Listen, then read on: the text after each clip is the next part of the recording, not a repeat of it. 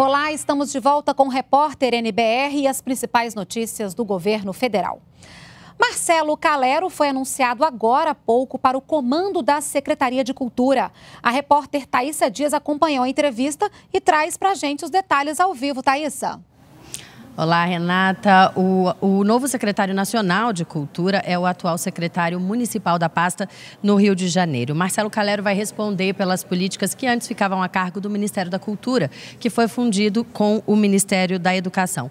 Em entrevista aos jornalistas, ele disse que a prioridade da sua gestão é quitar os pagamentos do antigo Ministério da Cultura ao setor cultural, aos produtores, aos realizadores, e que o diálogo vai ser o grande foco do trabalho dele à frente da cultura. Calero foi apresentado aos jornalistas pelo ministro da Educação e da Cultura, Mendonça Filho. O ministro disse que a cultura sairá fortalecida da integração com a educação e que, inclusive, os recursos para a área serão ampliados. É com você, Renata. Obrigada, Thaisa, pelas informações ao vivo. Boa noite.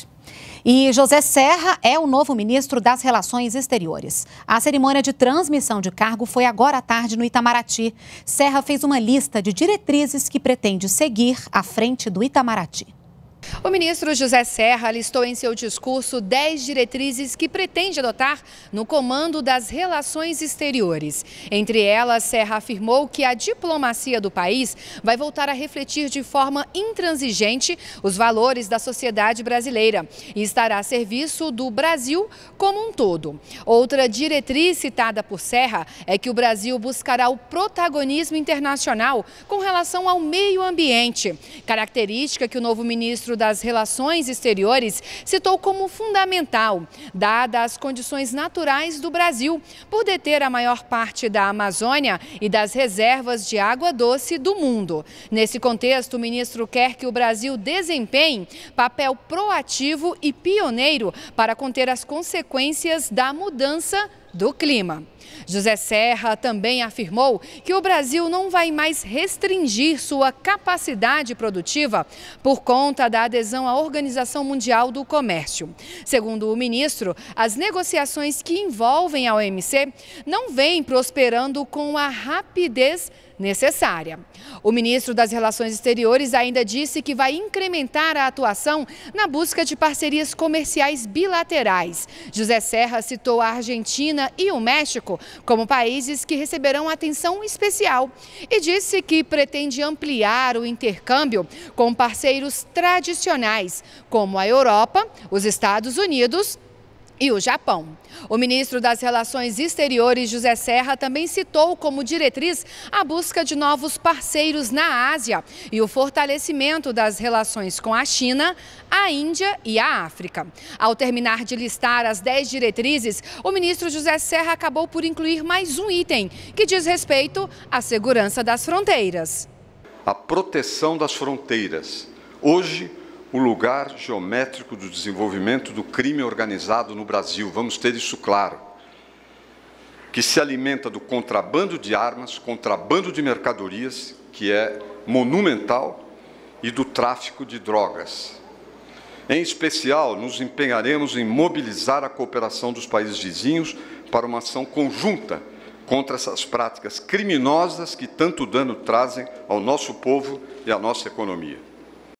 Nos quatro primeiros meses deste ano, o Disque 100 recebeu quase 5 mil denúncias de violência sexual contra crianças e adolescentes. O número é menor que o registrado no mesmo período do ano passado, quando o serviço do governo federal recebeu mais de 6.200 denúncias. A maior parte das vítimas é do sexo feminino e 60% dos suspeitos são homens. Grande parte das denúncias indica que os casos foram dentro do ambiente familiar, envolvendo mãe, pai, padrasto ou um tio da vítima. Em quatro anos, a Lei de Acesso à Informação estabeleceu uma nova relação entre o cidadão e o Estado. Só neste período foram cerca de 400 mil pedidos de acesso à informação de órgãos e entidades da administração pública federal. Ter acesso a informações públicas, como por exemplo de que forma o governo está usando o dinheiro arrecadado com impostos, está na Constituição, mas a lei que regulamenta esse artigo só entrou em vigor em 2012. Quatro anos depois, muita gente desconhece a lei. Não, não conheço, nunca ouvi falar. Eu ouvi falar assim por sinopse das redes sociais, mas não sei bem ao, a fundo, né? Qualquer pessoa pode pedir informações de seu interesse aos órgãos públicos e é possível solicitar pela internet. Quem mais faz uso dessa ferramenta são os jornalistas e as organizações não governamentais ligadas à fiscalização e ao controle dos gastos do dinheiro público. Desde que a lei entrou em vigor, foram 400 mil pedidos de acesso à informação aos órgãos e entidades da administração pública federal. Por meio do Serviço de Informação ao Cidadão, ESIC, canal unificado de recebimento dos pedidos de acesso, foram quase 380 mil pedidos ao Poder Executivo Federal. 98% foram respondidos em um prazo médio de 14 dias. A ONG Transparência Brasil é uma das instituições que atuam com a divulgação de dados públicos e encontrou na Lei de Acesso à Informação a ferramenta ideal para desenvolver seu trabalho. A administração, de qualquer forma, é obrigada por lei a responder. Se não responde, ela está infringindo a lei. Sem dúvida, a gente está num, num, num, momento agora muito diferente do que, do que era quatro anos atrás. Existe aí, instru, existem instrumentos de fato para fazer a solicitação de, de informação. A lei mudou a cultura da administração pública. Antigamente a informação era da administração e ela pouco disponibilizava ao cidadão. Hoje a informação é pública do cidadão e, como regra, assim tem que ser tratado. Então, isso demonstra, na verdade, que o Estado brasileiro está mudando o seu comportamento e a cultura pró-transparência. Quase 14 milhões de famílias vão ter a renda complementada pelo programa Bolsa Família neste mês de maio. Os pagamentos tiveram início ontem e seguem até o próximo dia 31. Neste período, o Ministério do Desenvolvimento Social e Agrário vai transferir mais de 2 bilhões de reais às famílias de baixa renda inscritas no programa. Para saber o dia em que o recurso estará disponível para saque, o beneficiário precisa observar o último dígito do número de identificação social impresso nos cartões. O valor fica disponível para saque por 90 dias.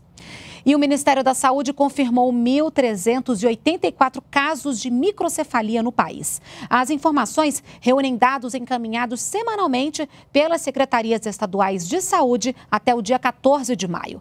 No total, foram notificados 7.534 casos suspeitos desde outubro do ano passado, sendo que 3.332 permanecem em investigação. Outros 2.818 casos foram descartados. E nós ficamos por aqui. Você pode acompanhar as notícias do governo federal às 7 da noite na Voz do Brasil e no NBR Notícias às 20 horas. Acompanhe também todos os detalhes nas nossas redes sociais. E você continue com a gente aqui na NBR, a TV do Governo Federal.